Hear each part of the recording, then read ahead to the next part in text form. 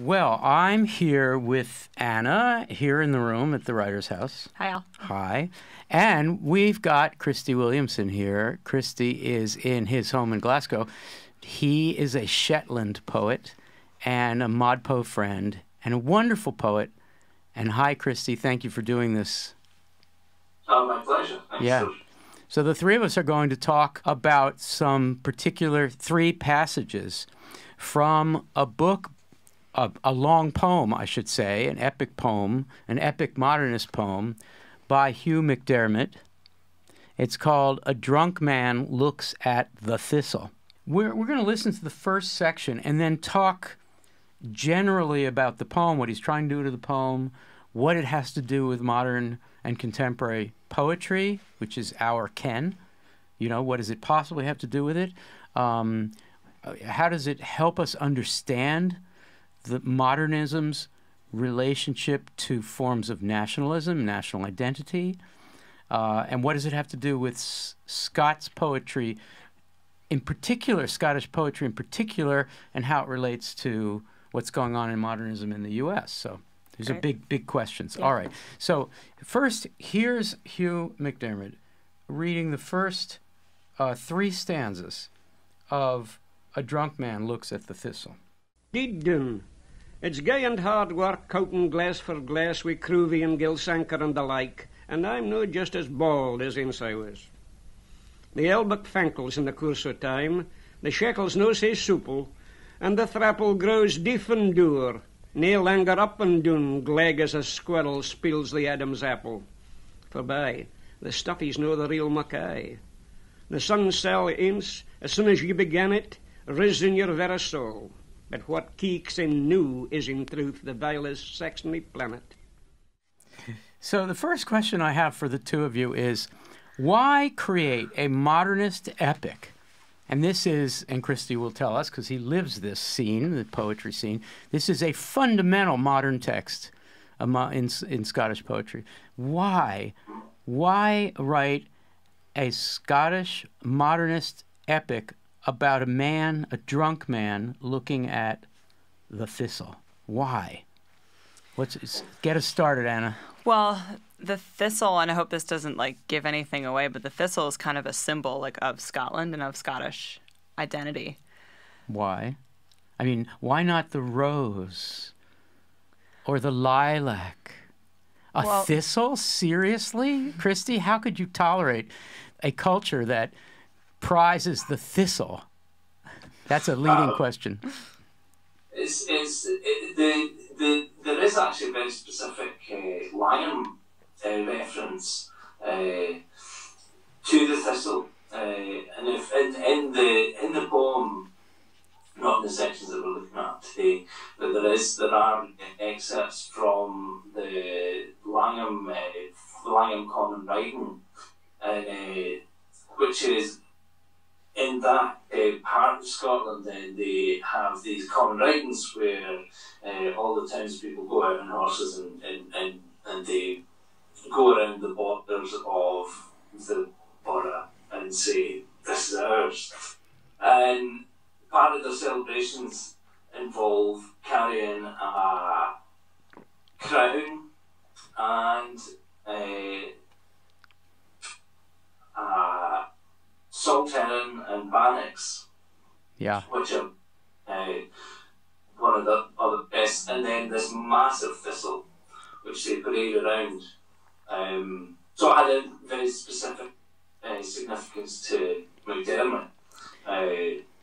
Because when he was growing up, and it was actually on the borderlands, he was he was in uh, northern northern England. Am I right? He wasn't in Scotland proper, but they, Elbow was in Scotland, yeah, it was in Langholm, which is Yeah. but it's very, about eight miles from Carlisle. It's very very close. Right. So, and he observed he he was part of in fact there's even a photo of him as a very young kid maybe a 12 year old in one of these ceremonies so this is important to his identity yeah. so yeah, but but yeah. but back to anna so you've got a thistle and you've got these great ambitions and, and why a drunk man and wh- what's the setup I mean, I, I this is the uh, Christie can tell us more about this, but the the Eliot's The Wasteland and Joyce's Ulysses were both really influential on this poem. Yeah. So why dr- a drunk man looking at? it? Why would you write a whole poem in which a drunk person is basically bespeaking this whole thing? Why would you do it generally? Yeah. Because that sounds like so much fun. right? That sounds like so much fun. Like, what an mm-hmm. amazing, just the sheer joy of like that project. The Like, project take is a take a drunken person mm-hmm. and give them the most like weighted symbol of your nation, and talk to it. Christie. It gives I'm all in. It, it- Anna likes it. It gives it gives MacDiarmid the freedom to experiment, uh, linguistically, but all. And I want to ask you about that. But also, uh, in terms of topic to topic transition, this drunk person is free to move all around because he's drunk. Yeah. So can you can you talk about the license that the freedom it gave MacDiarmid to write this? Well, he he he uses he, he uses uh, this front man to explore um, to explore his feelings for about Scotland, uh, which he's not entirely enamoured with, uh, although he, he loves it dearly. Um, and and man's place within the universe and his relationship to God and uh, and and, uh, and the great rule of time and things like this, um, which is the kind of conversational material that, that, that he, he would uh, he, he would associate with uh, a good drinking session, I would imagine. So he he's writing here in Braid Scots verse, and he wasn't the first to do this, obviously, by no means, but probably the first modernist to embrace this Robert Burns-ish kind of writing. This is a real merge, am I right, of the old Scottish, you know, back to tradition, we are not really English, this is our language pride combined with modernism, a modernist technique. So, can you say something? And Anna, you you spent enough time in Scotland to be able to talk about this. What's the radicalism of his choice of using braid Scots? Well, he had a he he, he had like a, a trilingual vision for uh, for the, the modernist Scotland, and, and and he he had he he, he felt responsible. Uh, but he was also working when he was writing a drunk man. He was he was working very much quite closely with Edwin Muir, who was responsible for the uh, more Anglophonic modernism, Right. and was Lane, who uh, was a, a, a great Catholic modern. All right. Well, let's get let's look at um let's look at a line of this first section. So, it seems, yes, uh, I can't do the braid Scots. I can't do any of it. But so for, forgive me because I'm you know I'm I'm a New Yorker and I can't. Uh, for by You're from the New Jersey. All right, whatever. for by the stuffies know the real Mackay. Um, the stuffy is whiskey. Yeah. For by is like for by is a wonderful word here. It's like anyhow, anyway, which is a real. yeah. That's what drunk people do. Anyway, what I was what was like. Okay, but what it, he's saying there, Christie, that this is not good whiskey. Yeah, no, he is. So And- wha- what's and, the uh, what's the point of that? Well, I don't, I, just talking about it, um, he's, he's, he's talking about the national culture that, that he, he has to exist in. He's also about, it to an extent, about, about that, uh, that Spotifobia, because he produces modernism, um, which, which he sees as, uh, as good real Mackay. And the whiskey, of course, is inextricably linked with Burns. Like you were saying, Oh. you know, a Burns supper, a Burns night to celebrate in January, right? January, yeah, I Yeah. think so. Is a an opportunity to recite Burns poetry and drink whiskey. Like that's that's what one Yeah, does. the, the the the footnote that uh, the edition that I've been using, the Kenneth Buthlay edition, uh, sees that this is sort of about writing under the influence of Burns, or in the you know in the shadow of Burns, as it were, uh, and and there's uh, an idea that the that this is the literary sun, right? And the sun the sun rises and sets. And I think I think it's safe to say that MacDiarmid really felt strongly that he, he was very sure of himself sometimes that he would represent the the new the new the new rise of Scottish literary culture. So I want to ask each of you about this opening. Uh, what does it augur? What does it bode? What, why did why is this such a powerful opening? We're supposed to imagine a drunk person looking at the thistle and getting started on what will be a Scottish modernist epic. Why is this a good way to start? Well, if I can just come back to the footnote you were talking about a, a minute ago, the um, the Buthlay edition also quotes Walter Scott in that moment. And another Scott, key figure. Yeah, right? and Scott and Burns, I think, sort of represent opposites in Scott's literature. That Walter Scott is writing work that takes place in Edinburgh and elsewhere, but is in like English English, proper English. Whereas Burns is using like vernacular colloquial Scots. Right. So I think maybe in that moment MacDiarmid is is holding up these two very important literary figures in Scottish history and uh, making an argument for continuing in the Burns mode or or reviving maybe the Burns mode. He's taking a position. Yeah. Christie, why why do you think these this is the this is a great opening to a poem that has its ambitions? Well, I love uh, the the fact that, that he calls the whole poem a drunk man with the pistol, and the first the the the, the first four, four is I am a fool, I'm not drunk. So so he's he's, he's already he's he's in that that very first utterance he's he's licensing himself to protect himself. Um, and uh, yeah, so so that and, and that that leads uh, leads us in, and that, that, that gives him the scope to, to do all the things that he does uh, later on in the poem. It creates a structure. It creates a setup, a frame. Right. I'm re- I'm drunk, so fasten your seatbelts. I'm going to go anywhere with this poem, which is, you know, what he got from Joyce in particular, a little, maybe even more than Eliot, right? You know. Yeah, I and and, and the, the, the comparison with you is, is, I mean, it is, it, it's it's it's you know, I think when we met in Glasgow, he said that, that he sort of says Ulysses. He, he might have even seen it as says Eliot. You know, it's yeah. it's, it's it's a very it, and, and it is an epic poem and it's connecting connecting with that longer tradition before modernism in, yeah. in, in, in a in a and, and using it to explore the ideas that, that, that he espouses and that he's uh, championing. And we are going now to talk about two passages uh, in the middle of the poem. And the first one is, uh, I would say, about uh, a little more than a third of the way into it, and the second one would be close to the end. Uh, and so I'm going to play the first one and ask each of you in a series of questions. Like, we're just going to do this as a close reading. So I'll go to Anna first.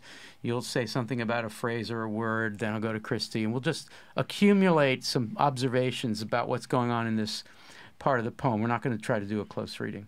Okay. So, all right, here's MacDiarmid uh, reading this this passage. It it's on page 63 of the edition, and it starts with line 149, 149. No, wait a minute. It's uh, 129 of the poem. I do damn gailies mixed, like life itself. But I was never in that thought to pit a notion in a mutchkin. As the hails mair than the peart, say I than reason yet. I dinna hold the world's end in my head, as most folk think they do, nor filter truth in fishy gills, through which its tides may pour, for ony animalculae forsooth.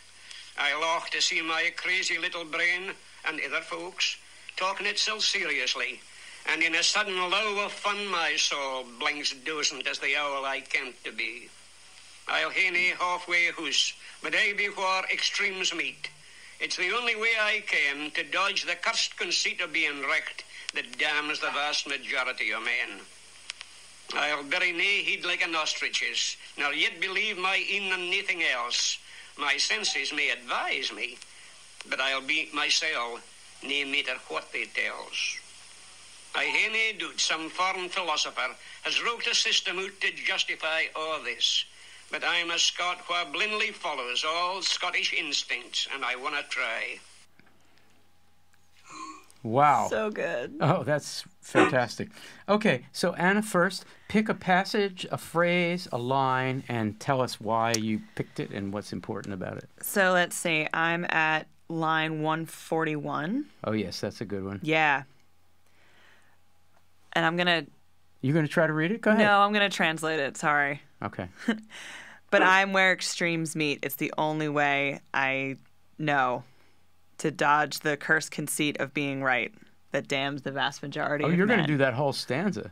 Wow. All right, Anna, why did you pick this? What is this about extremes meeting? Well, as we as we talked about, something that MacDiarmid is interested in is the is the way in which opposites should be held as opposites and Right. maintain their opposition to each other. This is a very important idea of this poem Yeah. overall. So it seems like this is a good stanza to kind of come, like get to that idea. But Mm. And uh, before we uh, talk about that more, what is the second the, the second two lines saying here? Uh, to to dodge. It's the only way I know how to dodge the cursed c- conceit of being right. I just love that. I mean, it it it's a way of expressing a kind of radical openness, Mm-hmm. a kind of uh, belief in if if you hold on so tight to being right about something, you can never be convinced of anything anything else, any other position, any other way of speaking or reading or. So it's it- quite brilliant. I mean, MacDiarmid personally was known as a, well, I, difficult is the wrong word. Um, uh, strong-headed, you know, th- believed in his ideas, and and and f- pushed forward. But what he's saying here, and I believe it seems to be true about his life as well as his work, is that he's he does have the the curse of being right, but he also at the same time allows extremes to coexist, which means he doesn't get dogma. He's dogmatic personally, but he's not dogmatic intellectually. yeah. Does that make any sense? So, yeah, it's interesting. Okay, so back to um, uh, the extremes meeting. It seems to me that he's talking about his poem here in a way. Sure. Yeah. And But I also love, I mean, poetically speaking, the way that he breaks the line at extremes meet. well, That's he a puts a dash in there. yeah. Yeah. that's a great way to, or sorry, breaks the line at Ibu War. Mhm. Extremes meet breaks the War, line there. Where? Right? Yeah. Where? I like that the line breaks there to put us from one line of the poem to the next.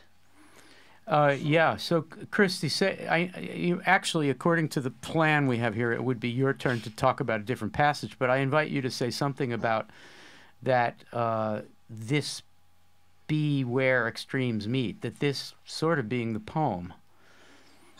Yeah, I mean, it really is. It's it's it's, it's, it's very it's very very core uh, very core concept to the to the whole piece. Um, and I, I love that. I love that uh, the cursed conceit of being right that damns the vast majority of men is is is is is, uh, is, is a really really uh, really lovely really lovely thing. Um, and I, I think the one, one thing that I take from it is that if you're if you're right, and, and I think with the, the notes kind of bring this out, which are excellent. Yes. Um, the, the, if, if, if, if you're right and you know you're right, then where do you go? You know, uh, if, if, if, if you if if you're not quite right, then you've still got some search to do, some exploration, some development, some work. You know, you've got a reason. Yeah.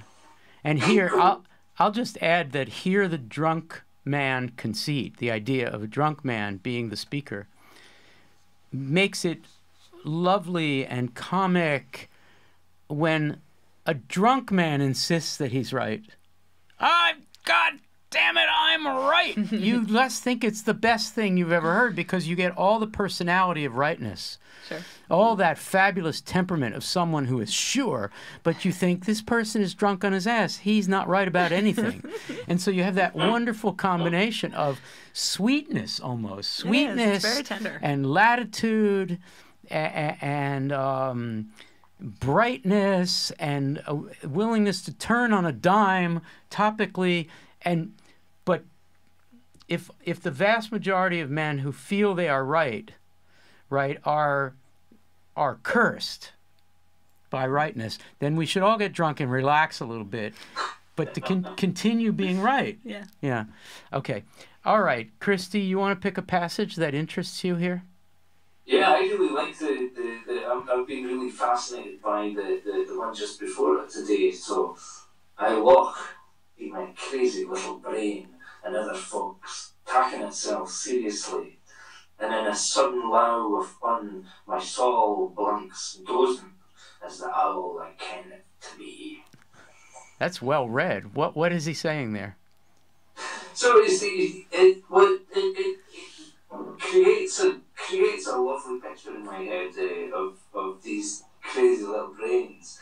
Um, and and the, the juxtaposition with the, the, the, the owl, I can almost kind of see the MacDiarmid and Soul as like a, an owl watching this, this forest of uh, jumping brains. And kind of kind of feel feeling watching and, and watching and, and then when he sees the right one then he'll swoop and uh, he'll uh, pick up in his claws and feed it to his young or whatever. Wow.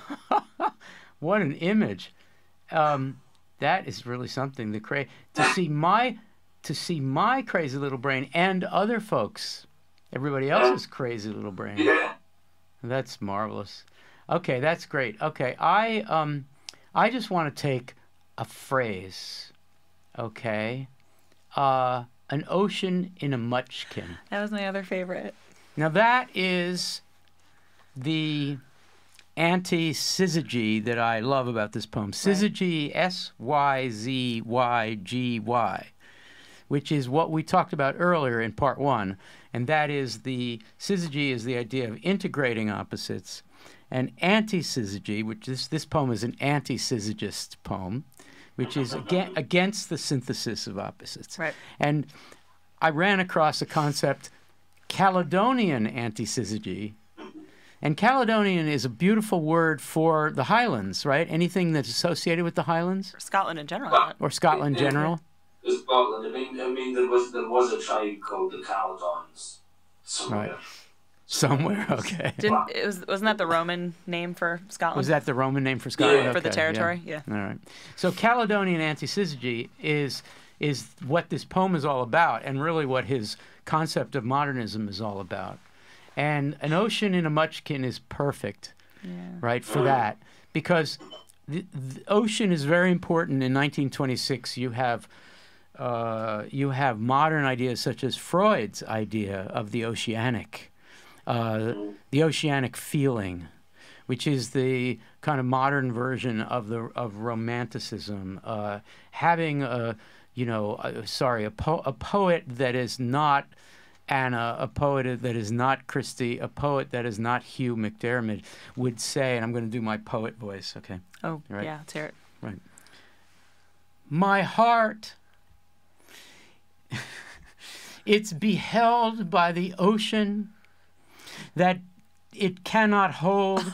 Sorry. Anyway, the idea is that the ocean is In your best high school lit mag Oh, voice. That the ocean is um, the place where we the place where we all should aspire to be in terms of our the wideness of our concepts and our origins. But he really mocks that. An ocean in a Michkin. A Michkin is a pint. Now it's not just a pint, but when you when you're when you're a drunk man, I imagine pint has a very special connotation. No. A pint glass. It's the unit of measure of, Of drunkenness of beer. an ocean in a Michigan. So what you it just I just really love that It is. Uh, idea. First of all, it's just beautiful the f- sound. An ocean in a Michigan. A Mutchkin. I said Michigan. I apologize. A Mutchkin. It's even better. Uh, the, a, uh, a big, big, amorphous, boundaryless, categoryless concept that every poet aspires to in a pint. And you can kind of look at it yeah. if you're in your pints. Uh, you know what? I think we're going to go to the last section now. Yeah. I'm going to call a halt to that one, but that's a good one. This is just lovely. I I'm so moved by this this passage that we're going to listen to and talk about. It is So let me cue it up here on my little device. Okay, so what we're going to do is we're going to hear we're going to hear MacDiarmid read the the second part of the italicized stanza, and then our passage starts. Thou art the facts. All right, so here he goes. so we've moved all the way to the end of the poem now. So we are yes, we're on page 159, around line 1455 or so. You know that far into it. Here we go.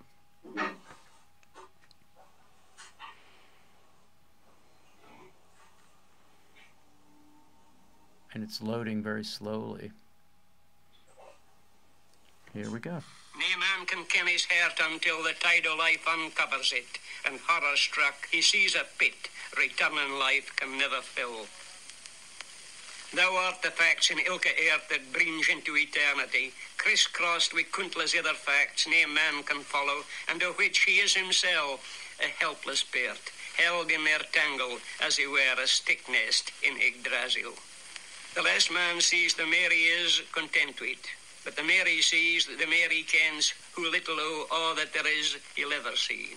And who it makes confusion, aye, the war confounded, till at last his brain inside his head is like Ariadne with an empty pern, or like a birdling reel frae which a whale has rived the line of war. What better's a for who he'd nest than Skaslock scattered o'er the grun? Wow. Okay. Let's do the same thing.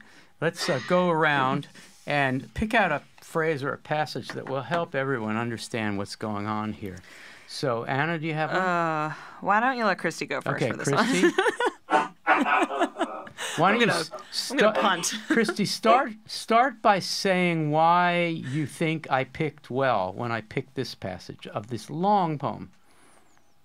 Well, because it, it, it, it does uh, it, it, it does it, it has a lot has a lot of the, especially the, the, the third the third stanza that we heard from him there uh, has a lot of uh, this Caledonian uh, and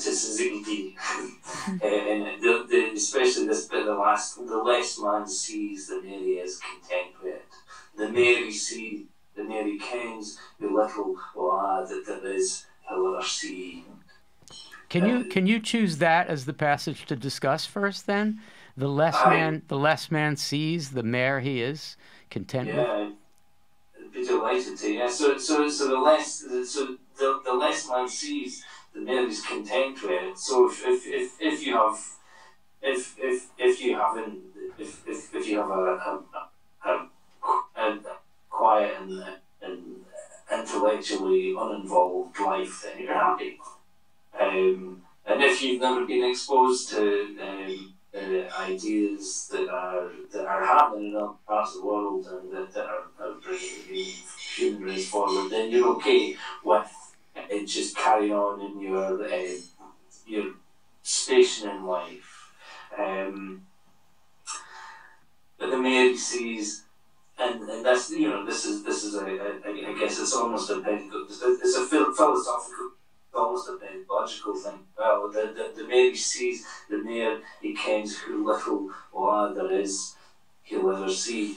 So, the more you know, the more you realise how little you know and how little you'll ever be able to know uh, because of the vastness of, uh, of, of, of available knowledge and, um, and, and because of our uh, minusculity uh, towards that.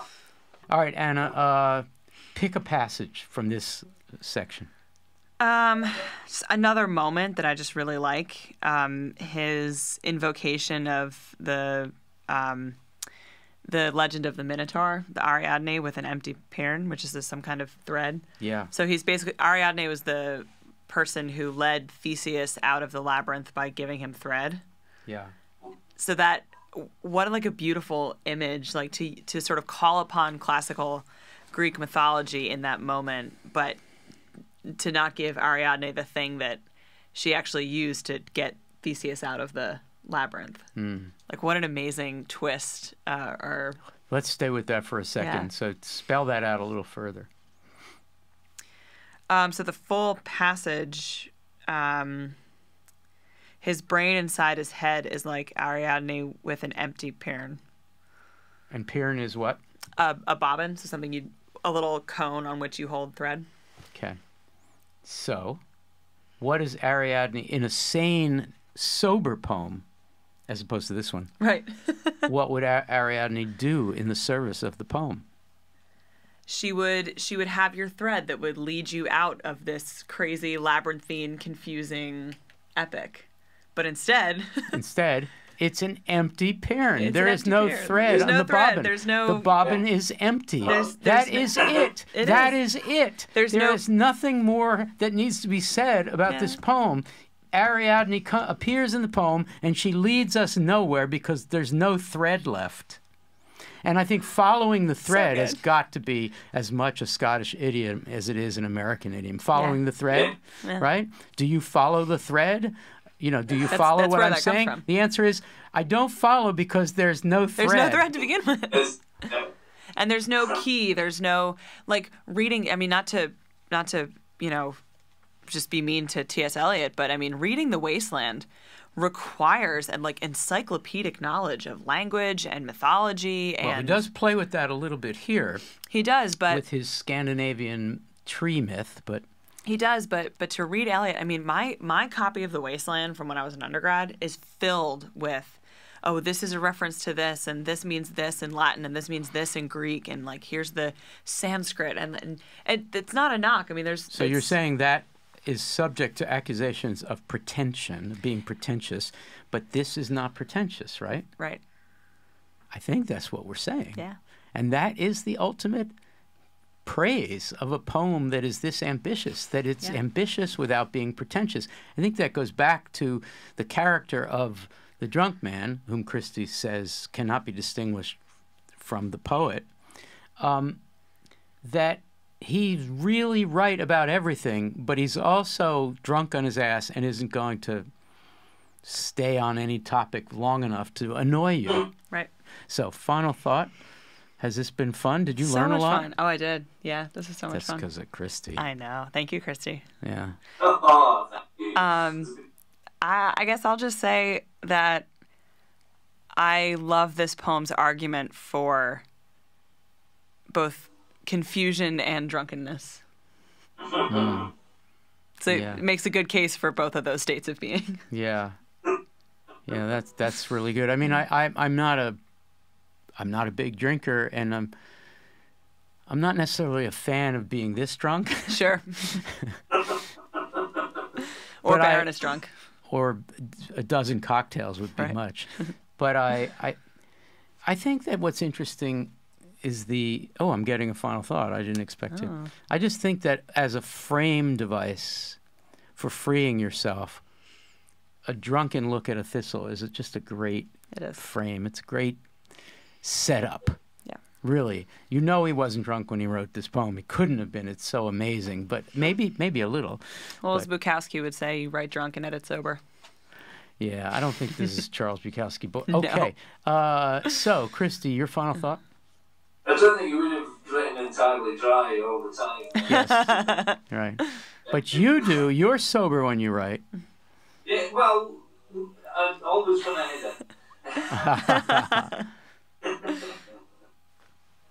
so I, I guess I guess my final thought um, uh, uh, is is um, is is how uh, how, how, how pleased I am that, that this is that, that this is getting uh, get- getting uh, a, a, a, a wider audience through uh, through Kelly Writer's House. and and it's really really interesting to have uh, other other uh, other other cultures, uh, people people from uh, people who aren't from Scotland uh, uh, engaging with the with the text because it is very fundamental uh, to to our, our understanding in Scotland of, of what poetry is and and and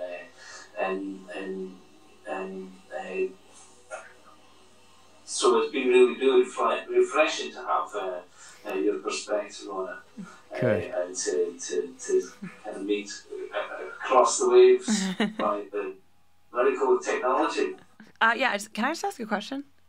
Yeah, you're asking me or Christie? Christie, Mm-hmm. why? Totally. Yeah, why do you think? Because I really had not heard much about MacDiarmid or this poem at all until Al emailed me and said, "Hey, do you want to do this Well, you went to St. Andrews. I know, it's but- a very elite place. I did, and all we studied were English writers. I'm Burns. The he's going to fall out of the I know. box. He's I going to fall swear. out of the TV. Burns you hear was that, the only Christie? one. They, she went to St. Andrews for a year and she learned British poetry. It's terrible. I know, and that's Yeah, why you know, love shocked. I would love to be shocked by that. we only did Burns. I mean, we did Tam O'Shanter, and that's it. Um, Wow. I, I learned about a lot about Scottish architects. If that helps. That's good. But okay, so my question is, why is this poem not as well known as a Ulysses or a Wasteland or another modernist epic? Like, why do you think I'm going to let Christie answer that question, but all I want to say is we don't have a Modpo video about Ulysses, and, well, it's prose, and we don't have really anything about Eliot, and we now are going to have one about MacDiarmid. So maybe we can have our little eeny Yeah. weeny effect on people's interest in this book, in this poem. I mean, we don't- we barely this even one have- here, the thing that you can focus on, this one right here, it is a marvelous work. Yeah. It, but so now Christie will tell us why maybe it's not as well known as it should be. It's hard to read for Americans, for one thing. Yeah, well, I think I think that's that's you can yeah you can't you can't underestimate that that it, it does does limit does limit your readership. Um, it, it, I think it, I mean it's hard for me to read. You know, I I I I I is I I write you know I, I write the stuff half of these kids. You know, I read a lot of it. Yeah. Um, so I think that that may have something to do with the, the fact that Street isn't as uh, uh, as uh, as wide as, as those other two texts. He, he refers to the wasteland and. He he, he, he gives it a bit of a dig. He says if it Bob Eliot had moved further north, Yeah. you might better poem one like this. Did he really say that? That's amazing. yeah, it does. Yeah. That's so funny. He That's was very great. acerbic. He he really he could really cut you down. Yeah.